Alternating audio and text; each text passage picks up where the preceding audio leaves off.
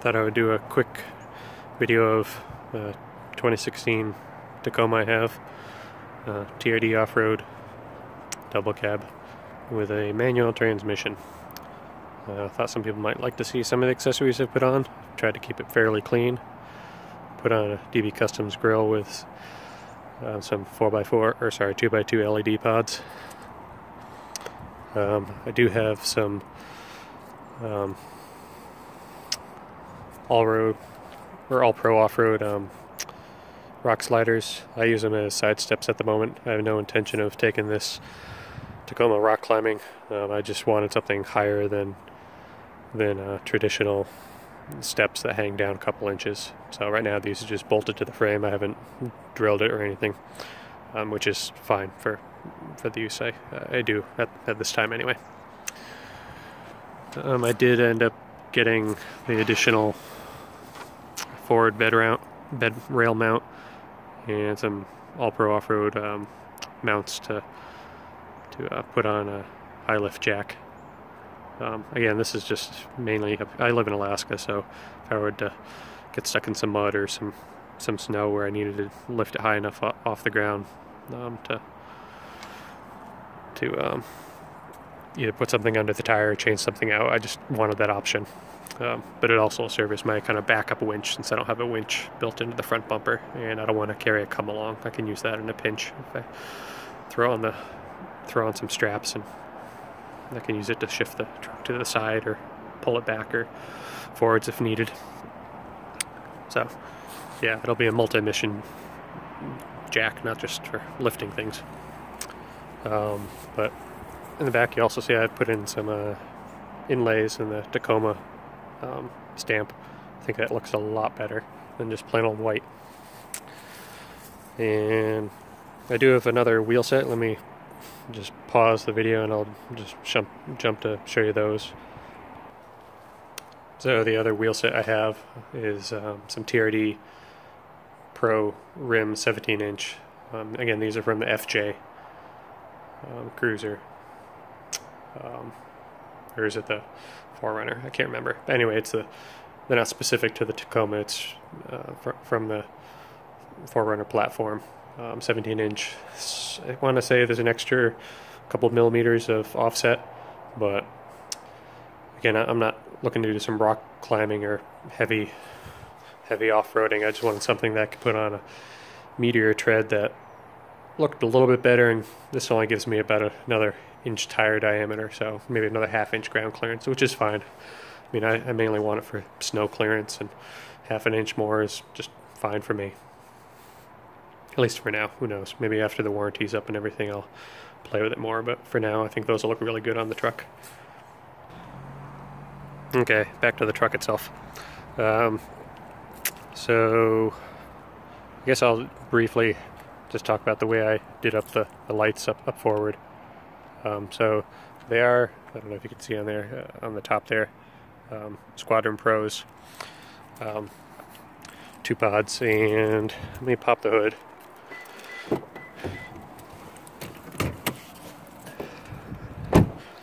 And just show part of my reaching around with the with one hand.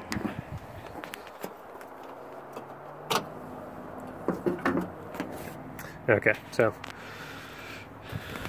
got the two pods wired up, coming out the red wires, bunch of zip ties running along here. And then I start doing a little bit of splicing. And so what I have running is an IQ, oops, you guys probably can't see that, an IQ 275. Um, it's an intelligent lighting controller and basically what it does is it lets me I think you can see in three spots here. one and two three down there in the corner. Um, basically tap into the running lights the low beams and the high beams. And it's not drawing power from those but basically it's sensing when they get voltage. And basically if I turn on the daytime running lamps, not the not the normal LEDs for the truck, but just the so there's three settings uh, on, on the dash column if you remember. There's the uh, normal daytime running lamps, then there's like the all-around running lights, and then low beam, and of course push it forward high beam, or if you want fog lamps too. But so I have mine set up so if I turn on the all-around running lamps, the LEDs go to a 30% setting. If I turn on the normal um, low low beams, I think I get um, 40%. Actually, I think I have the the all-around running lights at a lower setting, maybe maybe 10 or 20. But I know the low beams they go on at 40%. If I then go on high, they go on full, full power. So I don't have any other switches. I just have them all going to that because as I cycle through it, it senses what what setting is if my uh, column switch. Um, so that kept it pretty clean. I didn't need any other power switches. I mean, they're, they're hardwired to the battery, um, positive, negative. Still have a fuse in line, and basically, again, it's just using that controller to sense when there's positive voltage or, yeah, for, in this case, positive voltage between those. The way it comes from the factory, it kind of gives you three options for a ground, nothing, or positive 12 voltage, but you can kind of fake it out to do a setting for voltage in either of those three to cycle between the different different power levels. You just got to get a little creative with how you want to tap into the main main, main lights. Um, if anyone has any questions on that, let me know. I'll, I'll show you what I did. Um, I think I'll just turn them on here briefly. Where did I put the key? It's in my pocket. Nope, not in my pocket. Other pocket. There it is.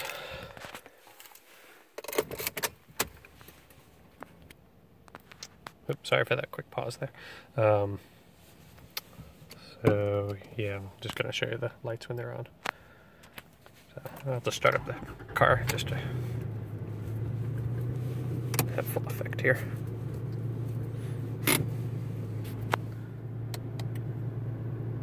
So if you, notice, I don't. All I have is normal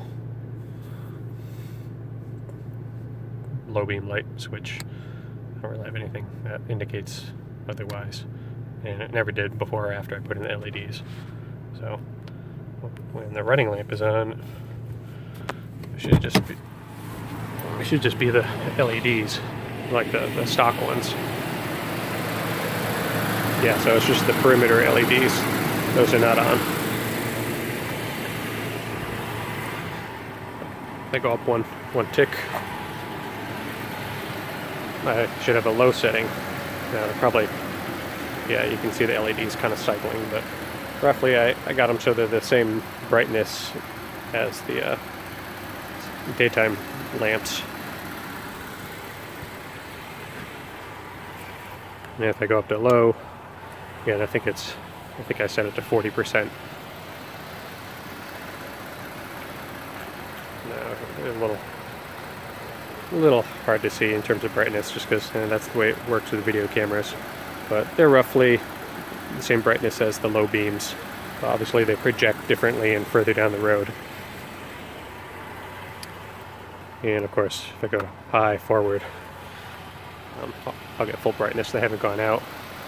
They've just gotten kind of really bright.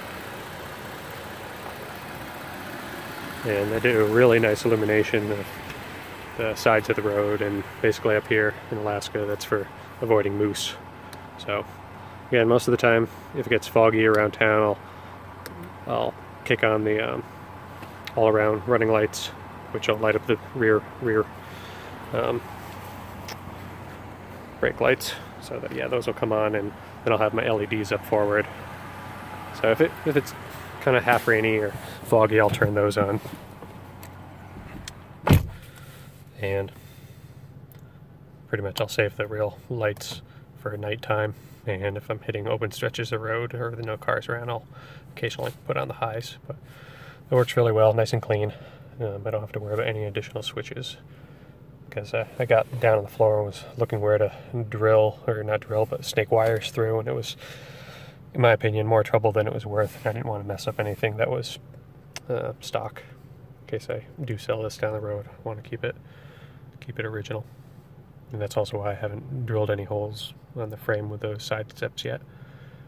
Um, either I'll wait till the warranty's up and or I'll uh, decide what else, other uses I want to do with the truck um, before I start fully mounting some rock rails. I mean, I don't, I don't, I don't glide the truck over rocks, so no point in me having the extra, the extra uh, mounting points. Of course, it would be an, an, additional spot to use that high lift jack if I if I um, fully bolted those down.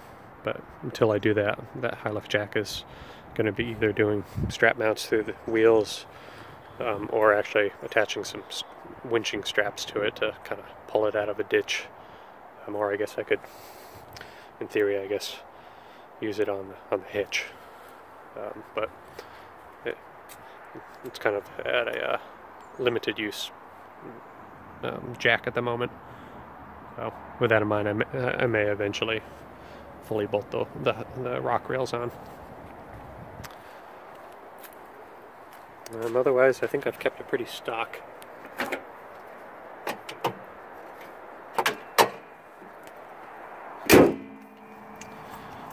Uh, if anyone has any questions about some of the accessories I put on, uh, let me know.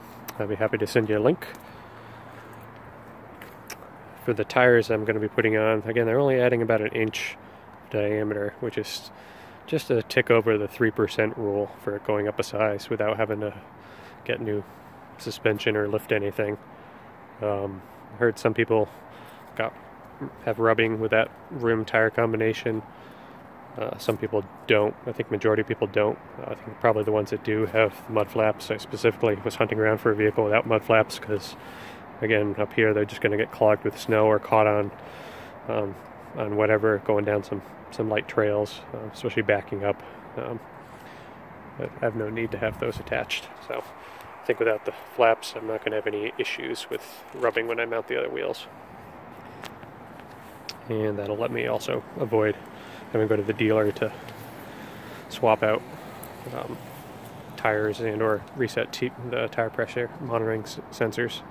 Um, those other tires do have sensors in them and I do have a recalibrate tool that'll take care of that um, here at the house. So if anyone has any questions, let me know.